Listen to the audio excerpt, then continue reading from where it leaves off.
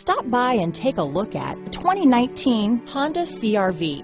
CRV, a top recommended vehicle because of its car-like driving manners, good value, cool technology, and comfy interior. This vehicle has less than 15,000 miles.